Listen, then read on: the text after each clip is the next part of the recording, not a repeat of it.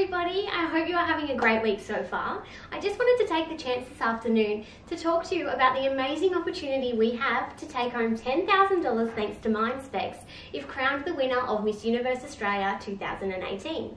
This is an incredible amount of money and a sum that I believe, if spent correctly, can positively impact the lives of thousands of Australian teenagers. Being a teacher, I work with children aged 13 to 21, day in, day out. It is within this age that there is so much going on within our bodies. There is so much happening as well within society that makes us feel like we should know exactly who we are, exactly what we want, and exactly how to get it and become successful young adults. I work with a wide range of educational resources and have found that there is a real gap and a need for a resource that addresses self-worth within teenagers.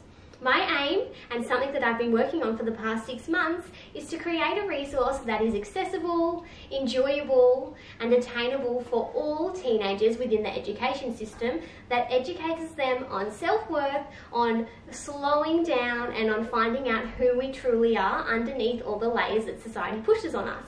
This is the little space I set aside earlier in the year.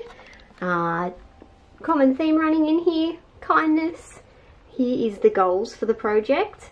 I also have a range of books that have left me feeling quite inspired or useful in this um, particular area.